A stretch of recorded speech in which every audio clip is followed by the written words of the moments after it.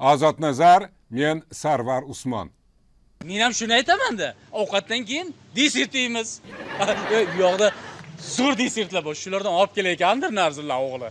Nevarasi desert emas dissertatsiya. Nima degani u dissertatsiya? Dissertatsiya degani Hmm. mana shu nimalarni hammasini nima qilib? Nimalarni hammasini nima qilib adashtirmay tur.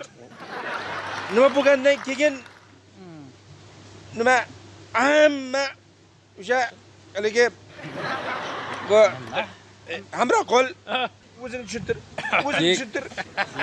Ay ay bolalar dissertatsiya degani bu ilmiy ish degani ilmiy tadqiqot degani.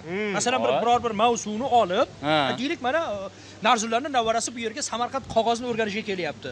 Samarqand qog'ozini o'rganib tarixini e, va bu qog'ozni boshqa qog'ozlardan farqi nimada afzalligi nimada o'shani ilmiy tadqiqot qilib o'rganib yozadi shuni. Ha. O'shani dissertatsiya deydi. Ana undan keyin u qishlog'imizni ham yoritmoqchi. Ye adashganingiz yo'q ko'rayotganingiz hanuz ozod nazar. Ko'rganingiz mutoyiba ko'rsatuvidan parcha edi xolos.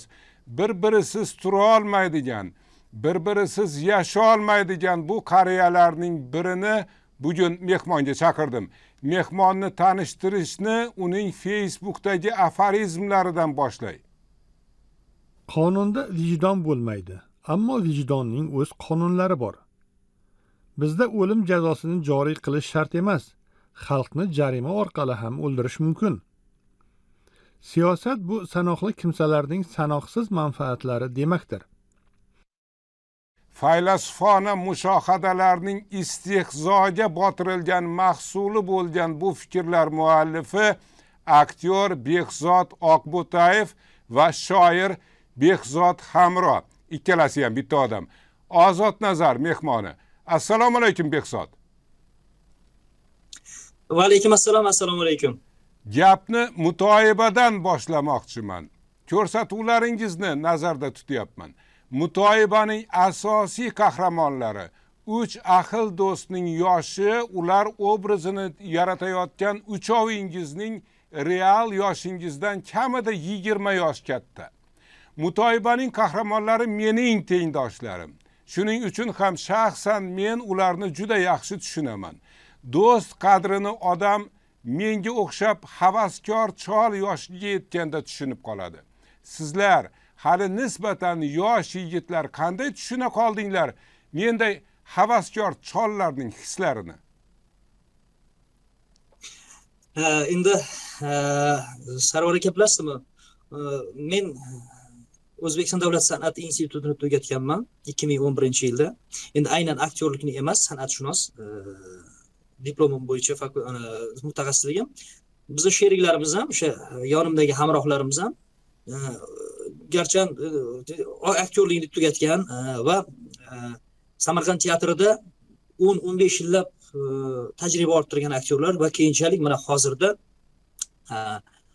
sirt sirtqi bo'limda sirtdan shu o'zbekiston davlat san'at va madaniyat institutini e, o'qishyapti. E, bir sherigimiz tugatdi ikkinchisini ikkinchisi tugatyapti xudo xohlasa. O'shaning uchun endi aktyorlikda bu tasavvur qiling shu vaziyatda men qanday bo'lishim mumkin? Mana bu vaziyatda o'zimni qanday tutishim mumkin? E, mana shu yoshda o'zimni qanday tutishim mumkin?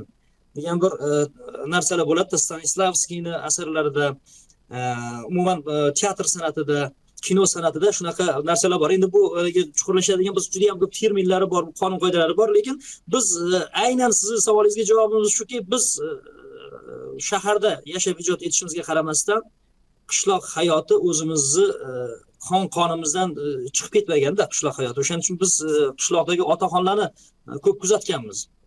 Yo endi Bolalikdan behzod behzod men hozir men hozir aktyorlik mahorati haqida gaplashmoqchi emasdim. O'sha uchala uchala qariya do'st e, orasida havo paydo bo'lgan atmosfera paydo bo'lgan va o'sha atmosferani sizlar hosil qilganliklarini tan olib qo'ymoqchiman xolos.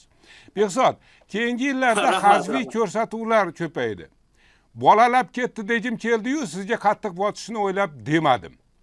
Mutoyiba qalpoq sho'rdanak qahqaha shapaloq kabilar deyarli bir xil formatdagi yigirma o'ttiz daqiqalik ba'zida yaxlit syujetli ko'pincha bir necha sketchdan tuzilgan ko'rsatuvlar bo'lsa million dizayn aristokratlar jamoalari kabi sahnada ijro etiladigan keyin yozuvi keng ommaga taqdim etiladiganlari ham bor. Hajviy ko'rsatuvlarning butun spektrini tasvirlab berdim degan iddaom yo'q. Lekin aytganlarimdan spektrning ranginligi ko'rsatuvlar soni oshgani ko'rinib turibdi? Sifatichi sifati? Sifati haqida siz nima deysiz? Mana san'atshunossiz. Endi sarvar aka e, sifat masalasiga keladigan bo'lsak e, ijodiy tomondan sifat to'g'ri. E, ba'zan hattoki o'zimizni ko'rsatuvimiz ham ba'zan juda yam sifatli chiqadi. O biz bunaqa chiqadi deb o'ylamagandik deb qolamiz. Ba'zan yaxshi chiqadi degan sifatimiz qanaqadir yaxshi chiqmay qoladi. Hmm. undan tashqari bilasizmi? Konveyer usulida ketma ket ko'rsatuv ishlab chiqaraverish faqat bizni ko'rsatuvimiz emas umuman umuman hajviy ko'rsatuvda ayniqsa hajviy ko'rsatuv ishlab chiqarishda ketma ket konveyer e, usulidagi ketma ket e, rentabelniy tez tez ishlab chiqarish natijasida sifat qochaveradi baribir. Chunki yaxshi e, g'oyani yaxshi syujetni har doim ham e, nima deydi birdaniga xohlagan paytimizda e, topa olmasligimiz bu tabiiy. O'shaning uchun ham qiziqchilik juda qiyin san'at har kuni yoki haftasiga ikkita uchta e, birdaniga e, nima deydi yangi so'z yangi g'oya yangi voqea topish oson emas. Shuning uchun bu narsa sifatga ta'sir qiladi. Gap aylanib shunga keldi o'sha g'oya masalasiga keldi behzod. Men mutoyimbangizning uning qatoridagi unga o'xshash boshqa hazbiy ko'rsatuvlarning unsiz tomoshabinaman. Indamaydigan tomoshabiniman ko'rsatuvlaringiz ostida sharhlar qoldirmayman yashirmayman ko'pincha ularni ko'rsatuvlaringizni e, ko'rish uchun vaqtimning qiyqimlarini sarflayman laxtaklarini ishdan charchab kelganimda yoki uyqu oldidan yoqib qo'yaman lekin baribir ko'ryapmanu demak nimasi bilandir ushlab turibdida nimasi bilan ushlab turibdi o'sha ko'rsatuvlaringiz Э, men bunga aniq javob ayta olishim mumkin. Э, yuqorida aytdim. O'zim ham san'atshunoslik e, bitirgan endi e, nima deydi magistr aspirant e, doktor darajasida emasman bakalavr bo'lsam ham baribir san'atshunoslik fakultetini bitirganman.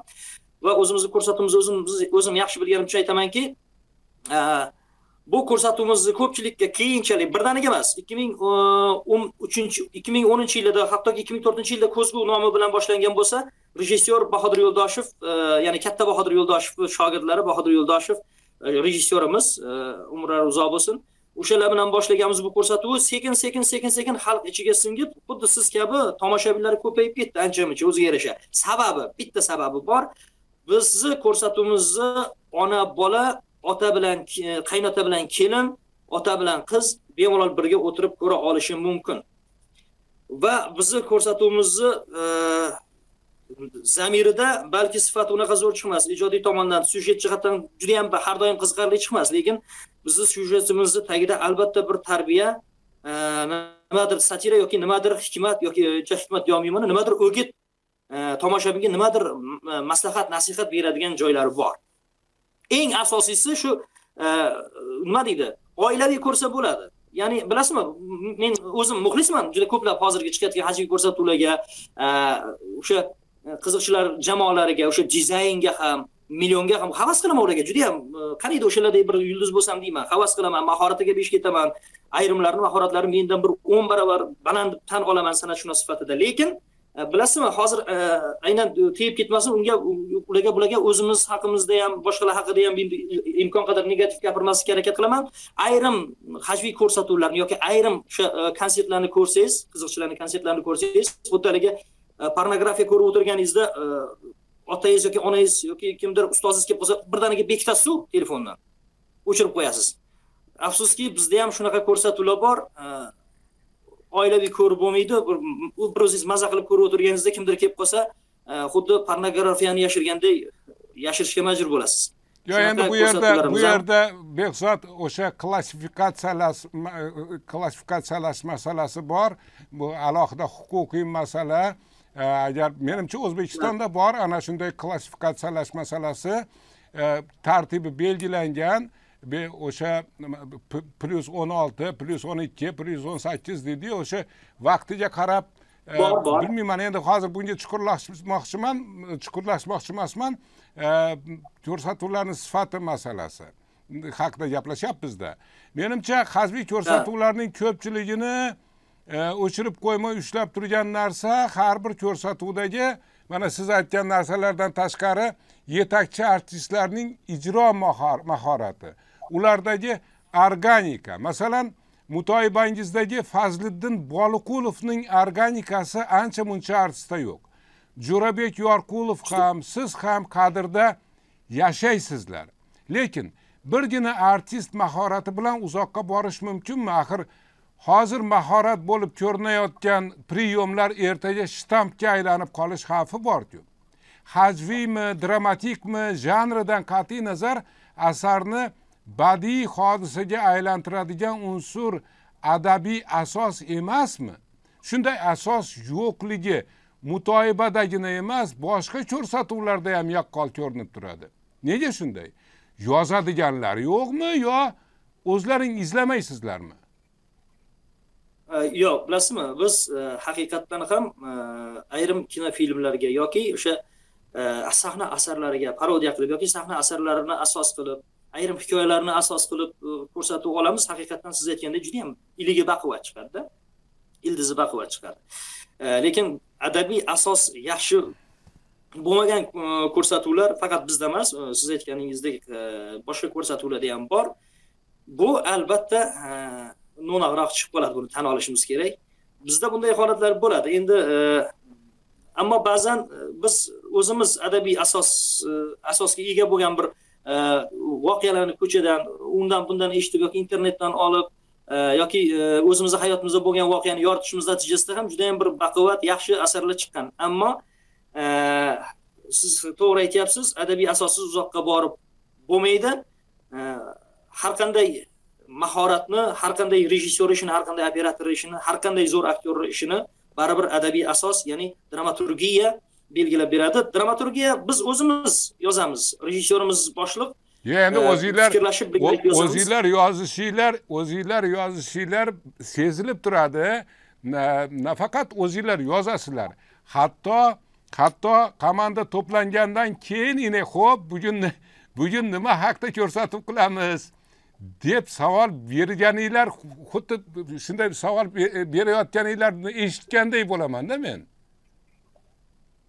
Shu darajada. to'g'ri bunday holat ham ha, ha, bu bunday holat ham bo'ladi endi e, men e, san'atshunoslik fakultetini bitirgan e, inson sifatida bu tanqidlarni tan olaman va ammo mm, bilasizmi bu lekin baribir ba'zan shu bugun nima olar ekanmiz a deb o'ylab qolamizda o'sha ko'rsatuvimiz juda chiroyli chiqib qoladi ba'zan bir muayyan bir voqeani yoki hikoyani olamizu unaqa baquvvat chiqmay qoladi endi har xil lekin baribir bu degani adabiy asos shart emas degani emas adabiy asos dramaturgiya kuchli bo'lsa baribir as- asar o'sha ekranda baquvvat chiqadi baribir adabiy asosni yaratadigan yozuvchi yo'qmi yoki unga to'laydigan pul yo'qmi?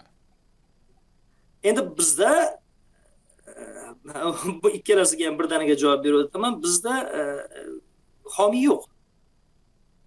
Biz e, o'zimiz yig'ilishamizda bugun nechi puldan ketar ekan deymiz va o'sha texnikani ijaraga olamiz. Endi toshkent shahrida syomka qiladigan bo'lsak televideniyani o'zidan apparatura chiqarib berishadi. Endi viloyatlarga chiqadigan bo'lsak o'zimiz texnikani ijaraga olamiz. Yo'l xarajatlari o'zimiz uchun ketadigan yo'l xarajatlari yoki o'sha yeb ichishimiz bir kun ikki kun yotadigan joylarimiz bularni hammasini o'zimiz qoplaymiz chunki biz yaxshi ko'ramiz haqiqatdan bu ko'rsatuv.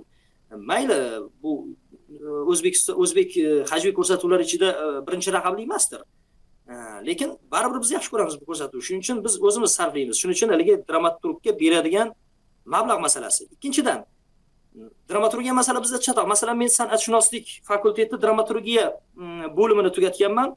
Endi ayrim qisqa metrajli va bitta qisqa metrajli badiiy filmim va bitta e, hujjatli filmim bor. Lekin mutaxassislar juda yam yaxshi baho berishgan. Lekin bu degani har hafta yoki o'n besh kunda bitta yaxshi iliga baquvvat ssenariy yoza olaman degani emas. Men yillar mobaynida bitta yarim soatlik yoki o'n daqiqalik yoki bir soatlik bir material yozishim mumkin. Lekin o'n besh yigirma kunda bir oyda bitta narsa yozolmayman. Bilmadim chunki haligi bir xil aytadi tez tez yozsa bo'ladi. Xohlagan paytda o'zing majbur qilsang yoza olasan deydi. Yo'q menda unaqa emas. Menda o'zi bir ilhom kelib qolib e, rivojlanmasa e, hattoki bir yilda bir dona she'r yozishim mumkin. Yoza olmasdim. demak e, ko'rsatuvni ishlab chiqarish xarajatlari o'sha uchalangizni bo'yningizda siz- sizlarni zimmangizda sizlarni cho'ntaginglardan Ha. bo'ladi Ha. adabiy adabiy asos yo'q lekin anavi masalan sahnada ishlaydigan yigitlar dizaynchilar millionerlar ularni ularni ishlarida adabiy asos borligi seziladi avtor borligi seziladi ularni ularda bilasizmi man yana aytaman man nima deydi muxlis sifatida ularni ayrim jihatlarini tanqid qilish mumkin ayrim jihatlarini maqtashim mumkin lekin baribir man ularga havas qilaman va albatta nima deydi ular haqiqatdan ham ayniqsa endi boshida shu to'g'ri qvz bo'lib chiqib chiqib lekin baribir bu ular adabiy asosga ega bo'lgan bir ilgi baquvvat bo'lgan chiqishlarni ham qilishdi va buni tan olish kerak lekin endi ular ularda baribir e, yozadigan e, dramaturgga e, bemalol haq to'lay olishadi ular Ha, ularniki katta biznes. Ho'p behzodjon albatta. e, e, jurnalistlik yaxshi kasbda bilasizmi nimaga? Aha. Nimaga? Bilasizmi? Meni kasbim o'zimni kasbimni maqtayapman. Jurnalistlik kasbi yaxshi kasb albatta Yaxshiligi- nimagaligini bilmadim nima yaxshiligi shundaki mehmonni chaqirib bemalol yuzing ko'zing bormi demay tanqid qilaverasizda Ha. ya endi men ham haligi ot tepisida ot ko'taradi degandek san'atshunoslikda o'qiganim uchun har qanday tanqidni ko'taraman va ba'zan tanqid noto'g'ri bo'lsa ham asoslab o'tirmaslikka harakat qilaman ho'p. Keyingi sho'rroq savolimni berishdan oldin sizga xushomad qilmoqchiman ko'rsatuvingizdan bir parcha ko'ramiz ana biz kutgan odam kelyapti Kim u? E? Ha o'zimiz aro qishloqdagi Jo'rabek-ku. Hey, yaxshimisiz? assalomu alaykum buva yaxshimisiz buva yaxshimisiz Sog'liqlaring yaxshimi, kayfi? rahmat men bunga aytdim aytdimmi senga olmalarni o'zimiz zavodga topshir o'shada olgan pulni bizdan olasan kucha sasoni bo'lib borib yurmaysan yo'q biz shaharga olib boramiz ha toshkentga olib boramiz mana ahvoli nima bo'ldi o'zi? so'ra o'zidan Ha? shu bobom aytganday olmalarni toshkentga olib keldim Ha. bitta haydovchi yollab erta tongdan bozorga kirgan edik haligi dallol deyishadi-yu o'shalar aka siz bemalol mehmonxonada dam olib yotavering. Yo'lda kelguncha charchagan bo'lsangiz kerak. O'zimiz olmalaringizni qimmatroq pulga yaxshiroq pulga sotib pulini sizga tayyorlab qo'yib beramiz dedi. Ha, zo'r bo'pti mana, zo'r, yaxshi, zo'r. Juda zo'r bo'ldi, o'zimizga qo'l haqqiga ozgina pul bersangiz bo'ldi dedi. Men ham rozi bo'ldim. Mehmonxonada dam olib yotaveribmiz. Kelsam na olma bor na pul bor na sotgan odam bor na olgan odam bor moshinani zo'rg'a topdik. Bormadingmi oldiga? E, borsam nima deydi? Ha. E, men sizni tanimayman. Siz menga olma berganmidingiz sizni men ko'rmaganman. Qachon keluvdingiz oldimga? Endi senga bir maslahat beraman. Iltimos bobo menga maslahat emas. Iloji bo'lsa yordam bering. Kim o'tir e bir kattani gapini olmasdan mana nima ahvolga tushib o'tiribsan kerak emasmi tur ketdik o'rnidan. Bo'p, bo'p, bo'pti, bo'pti. Maslahat bering. Maslahat bering. Pulim qolmadi. Uyga ketay desam pulim yo'q. behzod bu parchadan keyin hozir men bilan fazliddinni maqtasa kerak deb o'ylayotgandirsiz yo'q men olmasini oldirib qo'ygan yigit rolini o'ynagan yigitni maqtamoqchiman bilgan rol o'ynayapti deydi bilmagan chindan ham bechora olmasini oldirib qo'yibdi deydi to'g'rimi yaxshi to'g'ri to'g'ri yaxshi o'ynagan u yigit kursdoshim u yigit kursdoshim E, e, estrada aktyorligi e, fakultet bo'limini tugatgan institutda tengdoshimiz mendan bir uch yosh kichkina lekin institutda bir kursda o'qiganmiz. Fakultetimiz boshqa edi faqat judayam juda kuchli aktyor. Jo'rabek ismi. Toshkent viloyatining oqqo'rg'on tumanidan. Judayam kuchli aktyor yigit. Hozir endi aktyorlik bilan shug'ullanmay ketdi. E, lekin judayam endi hozir uni ta'riflaydigan bo'lsam yana terminlarga murojaat qilishim kerak. Juda yaxshi bekor qilibdi bekor qilibdi qaytsa bo'larkan san'atga. Ho'p behzod bilasiz ispancha uyat degan tushuncha bor. Birovning noma'qul ishini e, birovning noma'qul ishi uchun uyalishni ispancha uyat deyishadi. Hamkasblaringizning hajviy ko'rsatuvlarini har gal ko'rganimda sovet komediyalaridan olingan musiqalarni ishlataverishgani uchun ispancha uyalaveraman ispancha uyalaveraman o'sha ko'rsatuvlarni tayyorlatgan tayyorlayotganlarni o'zlari ham uyalsa kerak deb o'ylab qo'yaman. Nega shunaqa? Kavkaz asirasiyu ivan vasilyevich kasbini o'zgartiradini o'zgartiradini musiqasini yana nechi o'n yil ishlatish mumkin? Э, bu savolingizga endi э, mualliflik huquqi degan narsa borda. Biz har qanday э, to'g'ri kelgan musiqadan bir e, yaxshi o'zimizga yoqqan musiqadan foydalanadigan bo'lsak e, bu e, endi youtube kanali orqali beriladi bu ko'rsatuv o'sha yerda shikoyat tusha boshlaydi. Mualliflik huquqini talab qilish degan narsa borda endi o'shaning uchun u yerda mualliflik huquqi talab qilmaydigan ya'ni o'sha youtubeda foydalanish mumkin bo'lgan litsenziyalangan musiqalar bor. Ana o'shalardan foydalanamiz va undan tashqari bizni ko'rsatuvimizni o'zini qo'shig'i bor. Ana o'sha qo'shiqni soundtrek qilingan o'sha qo'shiqdan musiqasidan foydalanamiz uni Boshqa choramiz yo'q. borasizlar odam charchab ketadi odam charchab ketadi juda ko'p qo'yasizlar o'sha e, nimalar pauzalar shablon demoqchisiz. Ha. Ha, shablon bo'lib qolgan har bitta ko'rsatuvda demoqchisiz. Yo yo Endi ko'rsatuv yangidan yangi musiqa- bitta ko'rsatuvni ichida ham ko'p qo'yiladida bitta Ha, tomoshabinni fikri bitta tomoshabinni fikri ho'p mayli. Lekin o'sha sovet komediyalarini e, Э, muzikalari uchun saundtreklari uchun mualliflik huquqi yo'qmi?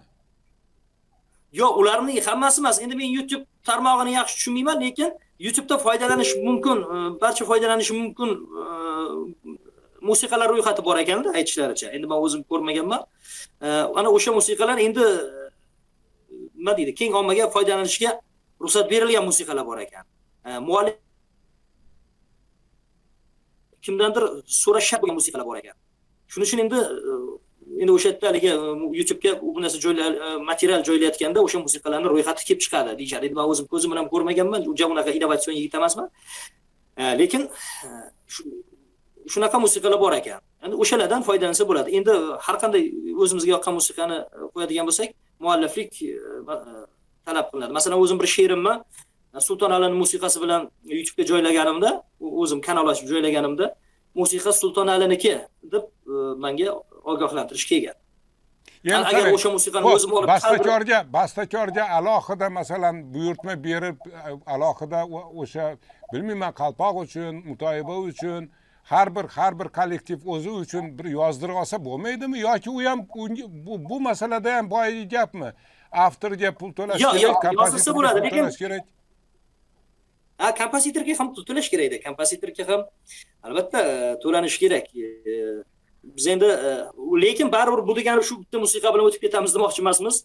Biz albatta musiqalar o'zimiz chaldirib aranjirovkachilarga sayqalchilarga chaldirib o'zimiz yana biror bir ikkita soundtrek qilib musiqa aynan shu yaxshi aytdingiz to'g'ri aytdingiz aynan mana shu musiqalar borasida birozgina nima deydi quloqqa hali e, quloqqa har qanday quloqqa yangi bir e, musiqalarni e, tashkil qilmoqchimiz xudo xohlasa.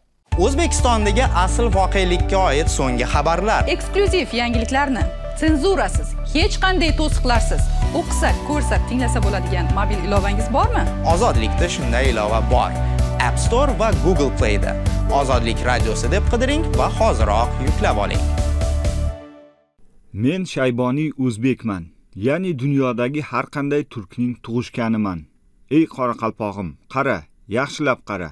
Mening qozoqdan, qirg'izdan, uyg'urdan, turkmandan, tatar, boshqir yo hakasdan, turkdan yoki ozardan va yoki ey qoraqalpog'im sendan nima farqim bor men nafaqat turkiy qardoshlarga balki umuman turkiy bo'lmagan millatlarga nisbatan ham millatchilik qilmaydigan o'zbek degan nom ostida dunyoda yuz tutgan bir turkiy qavm farzandlaridan biriman.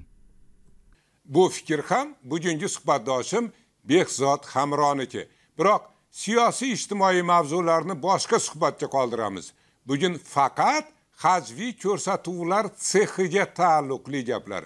Bu ozod nazar suhbatdoshim aktyor va shoir behzod hamro er xotin qaynona kelin munosabatlari doirasidan tashqariga chiqolmay kelgan hajviy ko'rsatuvlarda sekin asta satira unsurlari ham paydo bo'lyapti. Ha sabzining narxini eshitib haliyam o'zimga kelolmayapman. O'n to'rt mingga zamonginamning zayliga boshim eksam bo'lmasmi? Kartoshka piyoz demay sabzi eksam bo'lmasmi? Ey bozordagi hangoma. Bugun ajib sharhlandi. Ey bir qop sabzining narxi yarim million narxlandi. Endi sabzi ekkanlar omadini ovlashar. Yer ostidan sabzi emas oltin qoziq kovlashar ey bo'ydoq yigitlar biroz g'amda qolishar endi kalishlarning ichiga bodring solishar endi. Behzod hoynahoy she'r sizniki bo'lsa kerak? Yo'q bu she'r meniki emas lekin meni she'rlarim bilan foydalanishadi. Ho'p ko'rganimiz parcha mutoyiba ko'rsatuvining o'tgan yili sabzi qimmatlab ketgan paytda suratga olingan sonidan edi. Bu parchani satira unsuri dediku lekin bu biroz qulog'idan tortilgan tasnif shunga o'xshash shov shuv bo'lgan ijtimoiy tarmoqlarda trendga chiqqan mavzular boshqa hazviy ko'rsatuvlarga ham ko'chyapti.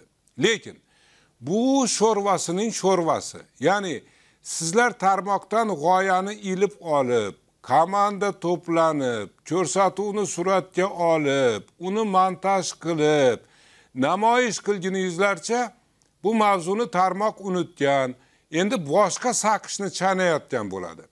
Nima uchun bir qadam oldinda yura olmayapsizlar?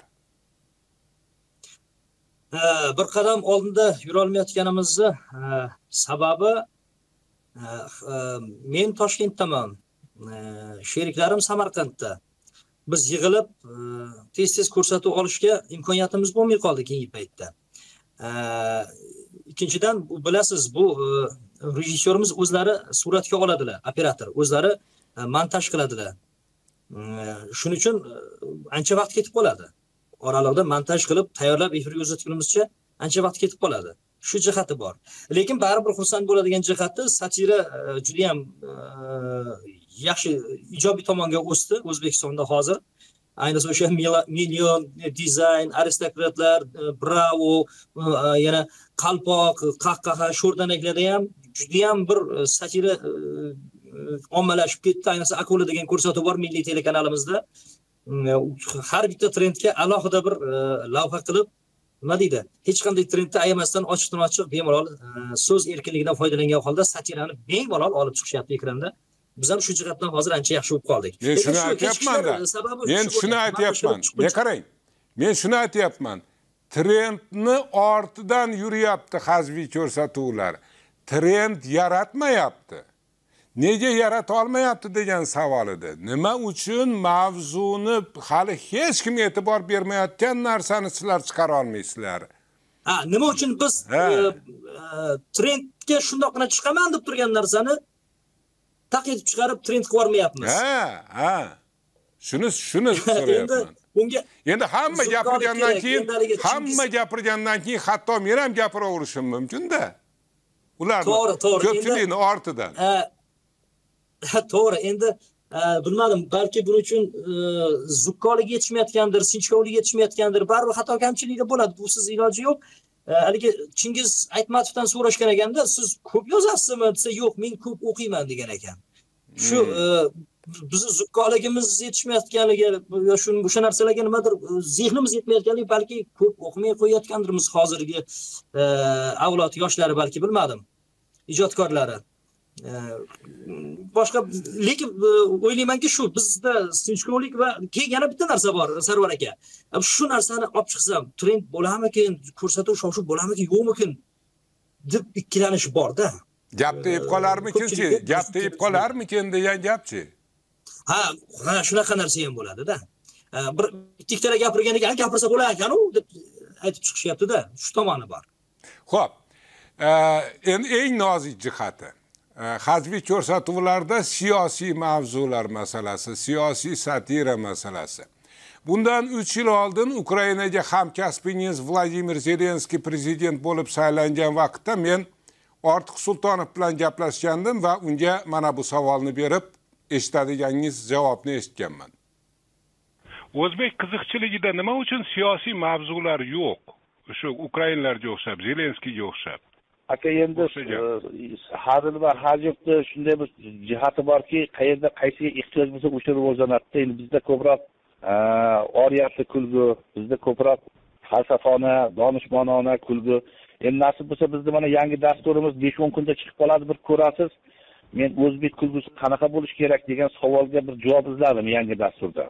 E, o'ylaymanki uni tomosha qilsangiz bir fikrlar paydo bo'ladi. Bizda o'sha o'zbekona biz endi boshqacha kulguda endi yevropaliklar bilan bizni farqimiz ham meni nazarimda shunda bizda endi yuziga aytmaydi doim bilasizki andishali xalqmiz shu satira endi andishasizroq kulgidau uch yil oldingi gap edi ehtiyojga qarab dedi ortiq sultonov o'zbekona kulgu dedi. Andisha dedi.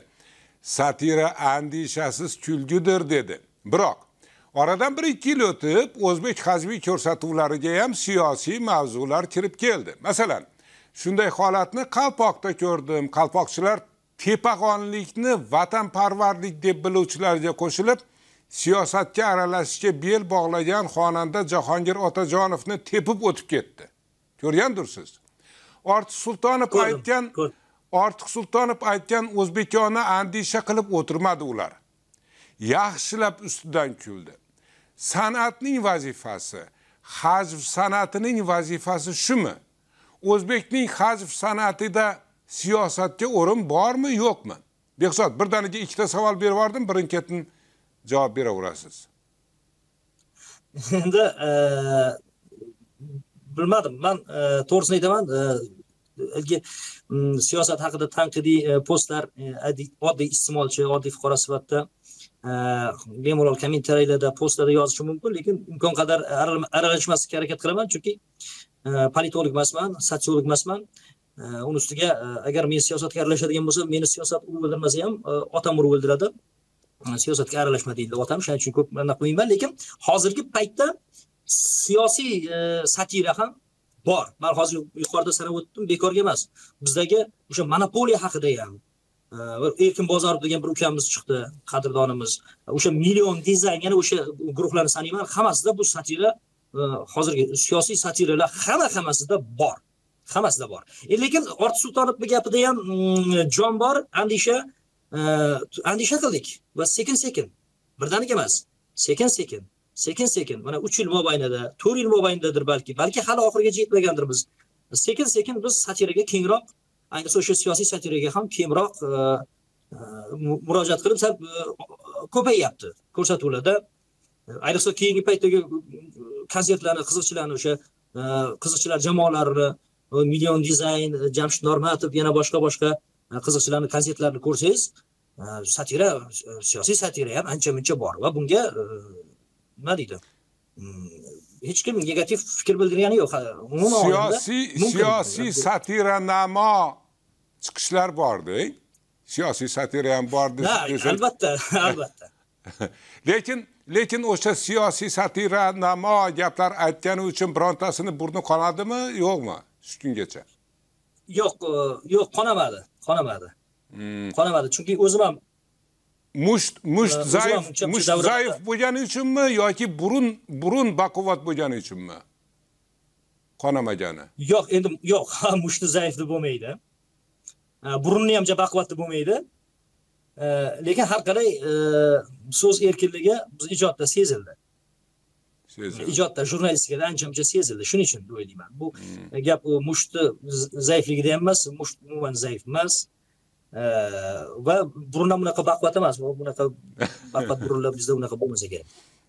Maktabni bitirib hech qayerda o'qimagan tog'alarim amakilarim borda. Ular menga institut bitirganimdan keyin berayotgan savollarni qarang yoki yaqin yaqinda bergan savollarni qarang. Tolstoyni e, urush va tinchlikni o'qiganmisan u o'sha joyda mana bunaqa joyda mana bunaqa deyilgan yoki chingiz aytmatovni jamila asarida mana shu mana shu joyda juda bir ajoyib fikr aytilganda deyishyapti. E, u bizdan oldingi avlod vakillari ichida kitob o'qish e, mutolaa qilish judayam e, oddiy hol va juda kuchli bo'lgan. Hech qayerda o'qimaganlar hattoki maktabda hattoki kutubxonaga kitob o'g'irlashga tushgan holatlari ham bo'lgan ekan. Buni bizdan katta avlodlar o'sha siz tengi avlodlar gapirib berishadi. Aytyapman ma'lumotli emas. oshqovoq bilan kitob o'g'irlasa bo'laveradi degan gap yurardi yo'q to'g'ri lekin kitobni o'qish uchun o'g'irlashgan ular va o'shalar mahsulini ha ularni fikrlashidan ko'rganman. Hozirgi avlod vakillari kitob o'qiyaptimi? Hozir ayniqsa keyingi yillarda rosa kitob haligi e, kitobxonlik bo'yicha g'olib bo'lganlarga spark va'da qilishyapti damas va'da qilishyapti va to'g'ri endi bu o'z natijasini beryapti. Ancha muncha ijobiy natijalar bor lekin mm, hattoki mana ko'ryapsiz tarmoqlarda e, telegram orqali xat yozishsangiz ham yoki xat hujjatlari ham bir biriga e, xat yozsa ham yoki o'sha kommentariyalarda ham bilsangiz besavodlarcha yozamiz. Besavodlarcha yozyapmiz hozirgi avlod. Buni hammasi nimadan? Yaxshi o'qimayapmiz. Biz maktabda o'sha grammatikani o'rganmayapmiz adabiyotni o'rganmayapmiz matematikani fizikani o'rganmayapmiz. Mana hozir repetitor bo'lib ketdi hamma yoq nima uchun? Tushlikkacha masalan deylik bir o'qituvchi fizikadan dars beryapti maktabda tushlikdan keyin repetitor qilyaptida tushlikkacha maktabda o'qitgan o'quvchisi tushlikdan keyin o'sha aynan o'qituvchisini qo'liga fizikadan deylik yoki matematikadan repetitorlikka boryapti. O'qituvchi tushlikkacha maktabda o'tgan mavzusini tushlikdan keyin yana o'sha o'quvchini o'ziga o'tyapti. Maktabda yaxshi o'qisak maktab ta'limi juda yaxshi bo'lsa bizga hech qanday repetitor kerak emas. Shu nuqtai nazarda aytyapman. Bu keyingi shu o'ttiz yil mobaynida nima uchun o'ttiz bir yil dedim? Chunki undan buyog'ini eslolmayman. To'qsoninchi yildan buyog'ini eslayman. To'qsoninchi yilda to'rt yashar bo'lgan bo'lsam to'qson birinchi yil besh yashar bo'lganman to'qson uchinchi yil maktabga borganman o'shandan buyog'ini eslayman. Biz hattoki o'sha maktabga maktabni bitirib hech qayerda o'qimagan yigitlar bo'lganda bizni qishlog'imizda ularni o'sha amakilarimni armiyadan yozgan xatlarini o'qiganman. Ular maktabda ham yaxshi o'qishmagan. Onammi otammi yoki qo'ni qo'shnilar aytishicha. Lekin o'shalarni xatida bir dona xato topa olmaganman grammatik xato. O'zbek adabiy tilida bizni qishlog'imizni shevasi surxon shevasi j jo'q jomon shunaqa shevada gapiradigan inson u adabiy tilda gapirishga umrida biror marta ham urinib ko'rmagan. Lekin armiyadan turib uyiga xat yozyapti. Bir dona ham imloviy grammatik xatosi yo'q. Hozirchi o'zi ko'rinib turibdi endi. Men bekorga aytmaganman buni. Haqiqatdan mana internetda titkilab ko'ring. Har bitta yoshi hattoki oliy ma'lumotlilarni bir biriga yozgan xatlarni kommentariyalarni o'qib ko'ring kommentariyalarni so'roq o'rniga undov undov so'roq bilan tugash kerak bo'lsa so'roq qo'yilmagan yoki virgul noto'g'ri ishlatilgan yoki og'riyotgan og'riyotgan tishimga og'riyotgan tishimga tegyapsiz behzod. Behzod suhbatimiz boshida sizni aktyor va shoir deb tanishtirdim she'rlaringizdan ba'zilarini o'qidim ba'zilarini eshitdim. Ancha muncha she'r o'qib turadigan odam sifatida qalamingiz qurch ekanligini tan oldim. Keling suhbatimiz oxirida o'sha she'rlaringizdan birini o'qib bering. Iltimos. Mayli o'qib beraman. Bunda ham ozgina satira bor. Qishloqning bahori eng go'zal bahor. Shaharga ortiqcha intilma. Bola shaharda varraklar erkin uchmaydi. Shaharning osmoni simlarga to'la. Qishloqda kuylasang jo'shib kuylaysan tunlarni tonglarni kuylarga ula. Shaharda otilib chiqishing qiyin shaharning sahnasi yulduzga to'la. Qishloqning har kuni sayl ko'pkari e bo'la qol otga min bola. Shaharda qo'lingga uloq tegmaydi shahar ko'chalari temirga to'la. Qishloqda taniydi hamma bir birin dilingni elingni mehriga bela. Shaharda mendaylar ko'payib ketgan. Bilmaysan bu shahar kimlarga to'la. Qishloqning bahori eng go'zal bahor shaharga ortiqcha intilma bola. Shaharda varraklar erkin uchmaydi. Shaharning osmoni simlarga to'la. Behzod hamro ikki ming o'n bir. Rahmat behzod rahmat. Aktyor behzod oqbo'tayev va shoir behzod hamro ikkalasi bitta odam. Ozod nazar mehmoni bo'ldi. Suhbatni fuqaro o'ktanbek karimov va jurnalist sarvar usmon ikkalasi bitta odam o'tkazdi. Ko'rishguncha.